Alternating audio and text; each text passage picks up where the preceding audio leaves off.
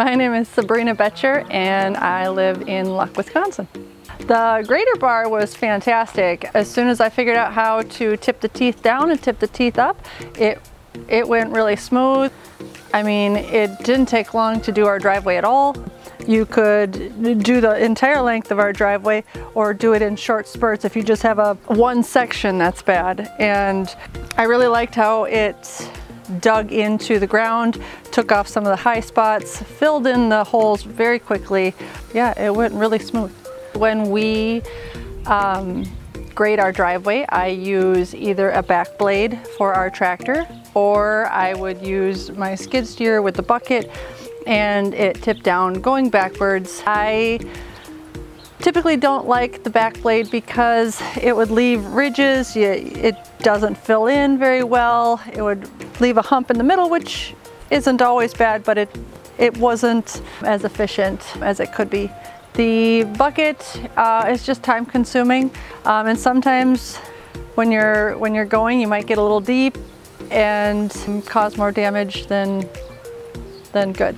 I mean, the back blade would probably take us, I don't know, a couple hours and it was never perfect because sometimes you don't get enough down pressure.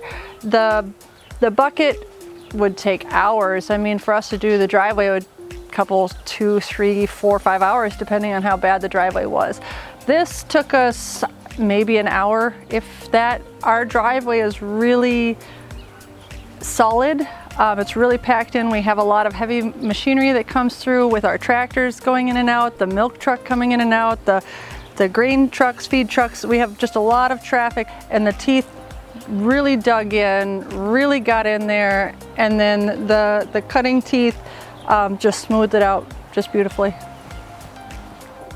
I think this machine is fantastic. I like the fact that it does not have hydraulics.